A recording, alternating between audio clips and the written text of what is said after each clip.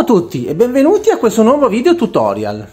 Oggi vi insegnerò a giocare a Paris o Paris, come dir si voglia, nuovo titolo del 2020 targato Kramer Kisling, ormai una coppia mitica nel mondo dei giochi da tavolo, un gioco per 2-4 giocatori della durata indicativa di circa 90 minuti a partita. Dipende molto dalla quantità di giocatori al tavolo, diciamo che una partita a due giocatori si aggira sui 75-80 minuti, forse un pochettino meno. Allora, oggi vi farò vedere una partita per due giocatori, cambierà molto poco, in realtà cambia qualcosina sul setup. La modalità di gioco è la stessa, non cambia assolutamente nulla. Allora, come vedete il materiale è spettacolare, il tavolo è pieno zeppo di roba, non fatevi spaventare perché in realtà il gioco è veramente semplice. Infatti noi all'interno del flusso di gioco avremo a disposizione sole due azioni. Allora, da dove iniziamo? Iniziamo dalla plancia giocatore. La plancia giocatore è questa bellissima casa in stile Parigi Belle Époque, infatti l'ambientazione è proprio nei primi del Novecento. Questa plancia giocatore serve per nascondere i propri soldi, le proprie chiavi e tutto ciò che riguarda i giocatori, quindi le materie prime o i segnalini prestigio. Il giocatore dovrà tenere tutto nascosto qua dietro. Un piccolo difetto è un pelino buio, quindi magari voi potete eventualmente spostare un pochettino le, tutta la costruzione. Il cartone è spessissimo, Ops, scusate, da costruire veramente semplice perché gli incastri sono molto larghi e quindi siccome si è costretti a smontare ogni volta che si rimette nella scatola non c'è, non c'è nessuna difficoltà nel costruire e smontare. Il tabellone è tutto componibile, infatti questi sono tutti pezzi separati che vengono uniti tra loro. Abbiamo la plancia centrale, i, le sei plance dei quartieri di Parigi e poi altre ehm, sei plancette che riguardano il tracciato segnapunti. Viene tutto costruito anche qui molto semplicemente e si va a creare questo bellissimo tabellone. Come potete vedere abbiamo anche l'arco di trionfo, eccolo qua, veramente uno spettacolo. Ha una funzione, diciamolo subito, prettamente estetica. In realtà è possibile anche giocare senza l'arco di trionfo. Infatti il, la plancia centrale, il pezzo centrale, se lo giriamo al contrario, ha esattamente riportato questo tipo di raffigurazione che andremo a vedere a che cosa serve. Poi per quanto riguarda il setup abbiamo ancora tutte le tessere bonus, che sono queste qua. Le tessere bonus andremo a vedere a che cosa si riferiscono, eccole qua devono essere piazzate esattamente con il loro numero corrispondente. Quindi questa qui che è la tessera numero 1 andrà messa nel posto numero 1. Questa qui che è la tessera numero 30 andrà messa nel posto numero 30. Molto semplice.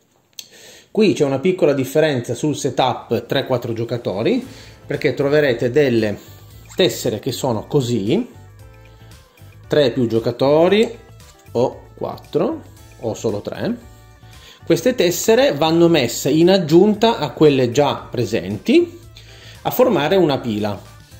In quel caso lì poi si potrà scegliere una determinata tessera quando ci si ferma con la propria pedina, ma adesso non ve lo dico ancora. Allora, vediamo un attimo le pedine. Queste qui sono le pedine segnapunti, classici tondini, che andranno sul percorso esterno, quindi quello dei punti di gioco. Poi abbiamo i bonus meeple, le tessere scusate, i segnalini bonus che andranno a viaggiare sul circuito più interno, quindi quello dei, delle tessere bonus. Poi qui abbiamo, come vedete, setappate questi segnalini prestigio e i segnalini risorsa. Allora, adesso io li ho messi solo qua, ma vanno messi esattamente nello stesso modo su tutti e sei ehm, distretti, i quartieri. Abbiamo il segnalino di bronzo, d'argento e d'oro e abbiamo qua invece la risorsa legno, la risorsa marmo e la risorsa oro. Vediamo adesso le tessere edificio che sono quelle che andranno piazzate qua all'interno dei quartieri di Parigi. I quartieri di Parigi sono Montmartre, Belleville, Chalot, Saint-Germain, La Villette e Batillons. Ognuno di questi edifici è numerato come sul tabellone esattamente, quindi da 1 a 8. Ecco qua. Adesso andremo a vedere, ogni edificio andrà piazzato esattamente nel suo quartiere di appartenenza e sul suo numero. Mancano ancora le tessere attrazione. Allora, come potete vedere, le tessere attrazione sono tessere che hanno un valore più alto, quello che vedete in basso sulla destra, è il valore dell'edificio, in questo caso il valore dell'attrazione. Sono molto alte ed eh, rappresentano dei punti panoramici, diciamo, di tutta Parigi. Sulla sinistra vedete tre icone, quelle icone rappresentano i segnalini prestigio, che andranno poi spesi per ottenere maggiori punti. Invece in alto sulla destra potete notare un meno con delle risorse. Questo sta a significare che per acquisire quel determinat- quella determinata attrazione non bisogna solo pagare il rispettivo valore ma aggiungere delle risorse richieste. Ma come si svolge un turno di gioco? Allora, il turno di gioco prevede due semplici azioni e prima di esse un'azione obbligatoria che dovranno compiere tutti i giocatori. L'azione obbligatoria è la pesca di una tessera edificio. Quindi si creano come setup iniziale due mazzetti distinti, ovviamente ben mescolati di edifici e dal totale se ne tolgono tre ogni volta per creare variabilità al, al gioco. Quindi si pesca una tessera e semplicemente la si va a posizionare guardando il mm, quartiere di appartenenza e il numero, come detto. Quindi io prendo il 4 di Bation e lo piazzo qua. È un'azione che non mi permette di acquisire nulla né di fare nulla, è solo un posizionamento. Quindi facciamo finta adesso che io vi vado a riempire ecco qua così vedete? Due qua. Per semplicità vi ho messo tutte le tessere di questo quartiere così lo vedete completo. Ok questo è un ipotetico quartiere completo. Ovviamente non si pescherà solo su un quartiere ma a casaccio si pescherà un po' ovunque. Ehm, è possibile ovviamente solo riuscire a vedere le prime due tessere, quindi vedere il quartiere di appartenenze, quindi ehm, la fortuna della pesca viene un pochettino eh, attenuata dal fatto che potete decidere, anche se solo per due quartieri, dove poter piazzare il vostro edificio, ovviamente non sapendo all'inizio quale eh, numero uscirà fuori. Dopo che avete estratto un edificio, lo piazzate e scegliete una delle due azioni. Quali sono le due azioni? Ed ecco che entrano in gioco le bellissime chiavi di Paris. Eccole qua. Queste chiavi sono le chiavi che permetteranno di acquisire gli edifici della Parigi nel Novecento. Come funziona? Allora voi nel vostro turno dovrete decidere di piazzare una chiave dove o in una banca di un quartiere o sulla, sull'arco di trionfo. Allora, se noi piazziamo una chiave qua, noi guadagniamo subito 6 eh, franchi, 6 soldi. Ah, vi ricordo che ognuno inizia con 3 franchi e stop. L'azione è stata posizionare la chiave. Cosa significa posizionare la chiave in un quartiere? Significa che io dopo potrò decidere se posizionare altre chiavi o prendere la chiave ed acquisire un edificio.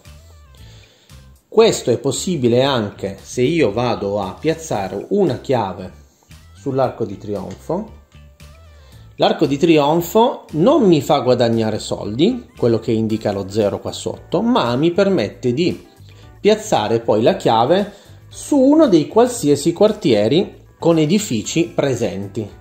Quindi ripeto, piazzare una chiave sul quartiere vincola la chiave a quel quartiere, ma fa guadagnare soldi. La chiave piazzata sull'arco di trionfo non fa guadagnare soldi, ma permette di piazzare la chiave su qualsiasi edificio sul tabellone. Quindi noi decidiamo o di piazzare una chiave oppure di acquisire un edificio. Come si acquisisce un edificio? Pagando. L'edificio di valore 1 costerà un franco, 2, 3, 4 e così via. Quindi io decido di, facciamo così, decido di acquisire l'edificio numero 1. Quando io vado a acquisire un edificio per la prima volta, riscuoto quello che c'è di fianco. Quindi in questo caso io riscuoto un segnalino eh, prestigio di bronzo. Se avessi comprato quello di 5 avrei acquisito una risorsa di marmo. Allora io poggio la mia chiave sopra l'edificio, vado a pagare, l'edificio è mio. L'edificio 1, il 2 e il 3 hanno una particolarità. Vedete qua in alto sulla, in alto sulla sinistra c'è la mm, figura della tessera bonus con un punto interrogativo. Quando io acquisisco quindi una tessera, un edificio 1, posso prendere il mio Meeple bonus e farlo avanzare sul tracciato bonus. Non esiste un numero, l'1 non indica l'avanzamento del meeple, ma io posso avanzare di quante caselle voglio, non ho nessun obbligo, potrei già arrivare subito all'ultima. Come funziona però? Funziona che io non posso più tornare indietro, quindi se io prendo questo e decido di acquisire la tessera bonus che mi dà 4 franchi, quindi io prendo il mio meeple e lo metto qua. Acquisisco la tessera, quindi questa tessera non mi fa scambiare soldi, ma la tessera ha un valore di 4, quindi la utilizzerò quando dovrò spendere, avrò necessità di spendere 4 franchi. Me la tengo ovviamente nascosta dietro la mia plancia, potrò usarla ora o nei turni successivi senza nessun obbligo. Successivamente io potrò, anzi sicuramente riacquisterò un edificio da 1 o da 2 ma non potrò più tornare indietro, quindi potrò solamente avanzare con il mio Meeple bonus. L'1 e il 2 danno la possibilità di muovere appunto il Meeple sul tracciato bonus, ma anche la tessera numero 3, solo che la tessera numero 3 vi obbliga, se volete, a pagare 2 franchi per poter muovere il vostro Meeple bonus. Acquisendo la 4 o la 5 otterrete ovviamente come, come visto due risorse, legno e marmo. Per quanto riguarda invece l'edificio di valore 8, vedete in alto a destra necessita di un legno, quindi per comprare un 8 non basta pagare il suo valore, ma bisogna necessariamente spendere un legno. Però la tessera numero 8 vi regala anche due punti immediati che farete avanzare con il vostro segnalino rotondo. Quando voi acquistate un edificio e volete acquistarne un altro più caro, dovete solamente pagare la differenza. Esempio, io sono qui, acquisto l'edificio da 1, voglio comprare quello da 3. Farò così, mi prenderò ovviamente il mio segnalino prestigio dorato, ma pagherò solamente la differenza, quindi pagherò in questo caso solamente 2. Se vorrò acquistare edificio da 8 dovrò pagare una differenza di 5 franchi più ovviamente aggiungere il legno che necessita l'edificio numero 8.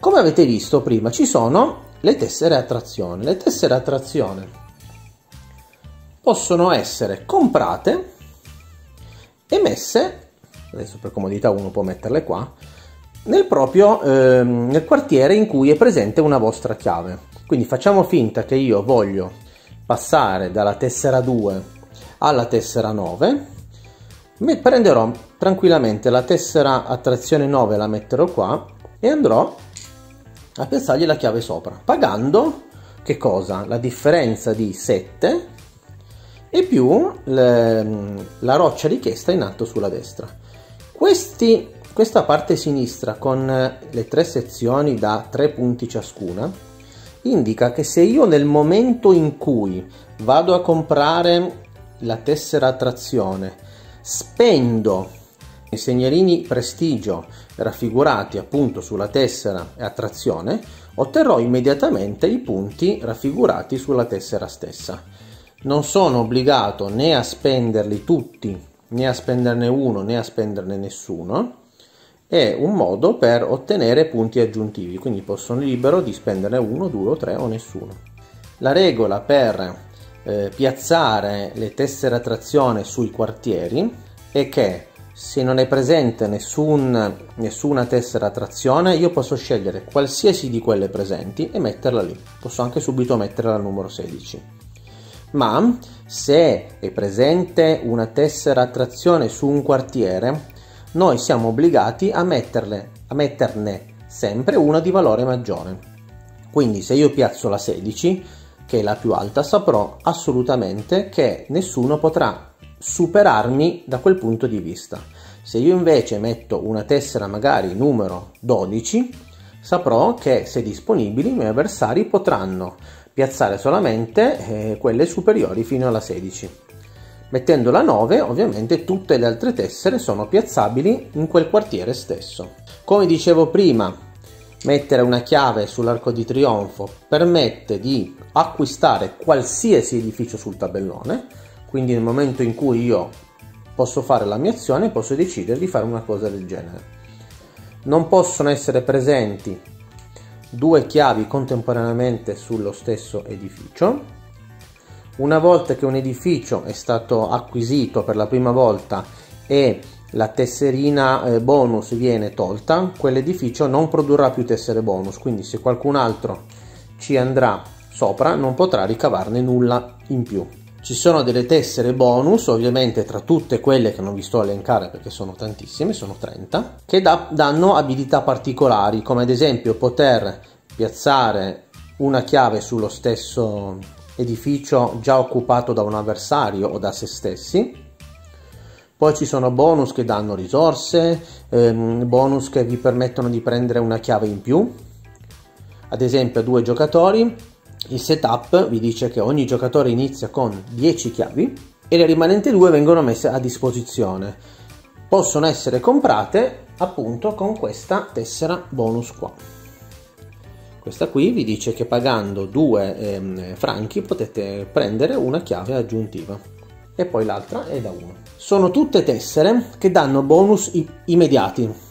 Quindi ad esempio questa qui potete ricordo giocarla quando volete vi dà due punti per ogni edificio di valore 1 occupato. Quindi quando voi prendete una tessera del genere, non è consigliabile o comunque giocarla subito, ma conviene giocarla quando avete una buona quantità di edifici 1 occupati. Questo vale per i 2, per i 3, per i 4 e fino al, alle tessere attrazione. L'unica tessera bonus che va considerata a fine partita è la numero 27 che dà un punto vittoria per ogni franco avanzato. Tutte le altre, ripeto, sono da utilizzare durante la partita stessa. Quindi, ripeto, le azioni sono pescare un edificio e piazzarlo e poi decidere se piazzare una chiave sull'arco di trionfo o su una banca oppure spostare quella chiave per acquisire altri edifici. Arriverà un momento in cui tutte le tessere edificio saranno esaurite e non potrete più pescare nulla. Da quel punto in poi entrano in gioco le tessere punteggio. Queste tessere rappresentano un'azione in più durante il proprio turno. Quindi d'ora in poi, non potendo più pescare tessere edificio in quanto esaurite, potete decidere di mettere una chiave, acquisire un edificio con una chiave oppure scegliere una di queste tessere. Le tessere vanno tenute eh, sempre coperte, un giocatore prenderà tutto il mazzetto e andrà a scegliersi quella che le serve di più. Quindi ci sono punti a disposizione, ehm, segnalini punteggio, risorse, soldi e quant'altro.